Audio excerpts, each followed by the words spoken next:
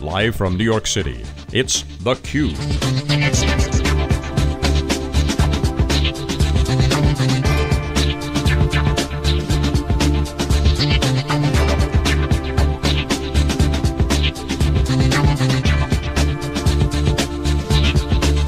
Here is your host, Jeff Frick.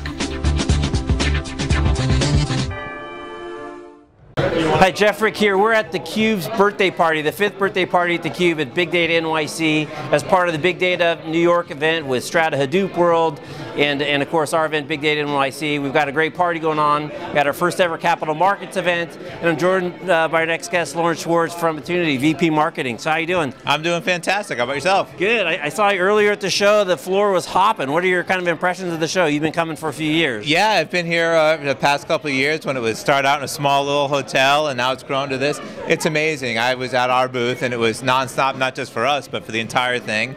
And uh, it's great. People have real problems. They're coming over. They want to figure out how to implement things. They want to figure out what all the alternatives are. So it's a lot of good conversations. And then you got a really cool thing going on in your booth with your new, uh, I don't know, is it a logo? Is it a, is it Yeah, a theme? yeah. Well, what is it? so- What- so we tell us a little bit about it and what's, what's the meaning behind the fun? Yeah, so we, we stuck a little uh, jetpack on our elephant. We call him Booster, and uh, talk about how we boost Hadoop, right? You know, give it more performance, make it easier to kind of work with and get data in and out of. So yeah, it's our new logo to support Hadoop. Uh, we had somebody walking around an elephant with a backpack and everything, the elephant costume. So we're trying to have fun here too, as Yeah. well as uh, get the name out. So, That's yeah. good. And, and was that uh, concurrent with any specific announcements or new news? Yeah, so we, we've been in the replication business, you know, for, for a while. We've done stuff on-premise, all the traditional databases and data warehouses.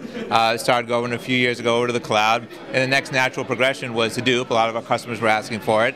And so this show is our big Hadoop announcement too. So we have a nice way to, to get data in and out easily, quickly, um, and avoid all the problems that you normally come across when you do it. So And, and is that live? It's in production? it is, uh, yeah, we've got it. People can come by the booth, see a demo of it. It's, it's fantastic, runs well, um, and it's great. People come over and they look at, well, there's other options out there. There's things like Sqoop on the, on one side, and you know, is this better than that? And we show, yeah, this is a mature product. This is something people can use and leverage, immediately put in and use with all their current databases and data warehouses. So it's a lot of fun to go out there and show them some great alternatives to, to some of the more development tools that are out there, some Yeah. more production-ready stuff. So it's really, the, the, the move to full-on production is, is well underway. Yeah, yes, we're, we're seeing that, and when enterprises uh, you know want to adopt this, they want to be able to do it quickly, and they want something that's pretty robust and works very well with all, all the good systems that they have in their uh, departments now. So, Well, Lawrence, thanks for stopping by. Cube Alum, we get him on everywhere we go because he's got great insight. He's a terrific guest. and yeah, and congratulations on the uh, on the birthday, Thank and uh, hopefully we'll see you at many more. Yeah, absolutely. So again, Jeff Frick here at the Cube's fifth birthday party at Big Data NYC in Manhattan,